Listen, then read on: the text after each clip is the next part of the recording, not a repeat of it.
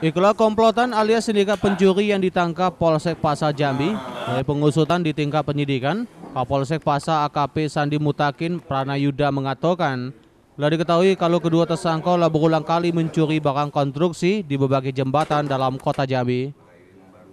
Itu sebelumnya hanya diketahui mencuri kayu penyangga jembatan Sungai Maram. Belakangan diketahui pula kalau penyangga konstruksi stasiun pompa air di dekat Mall WTC Jambi juga lah orang kocuri.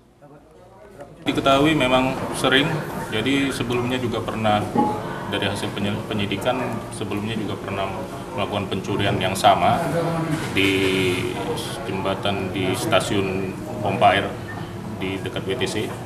Jadi sudah berulang kali melakukan kejahatan yang sama, melakukan pencurian yang sama, kemudian eh, kita berupaya untuk supaya eh, ter- apa namanya ada efek jerah dari pelaku supaya tidak menimbulkan eh, kerusakan dari segi konstruksi sendiri.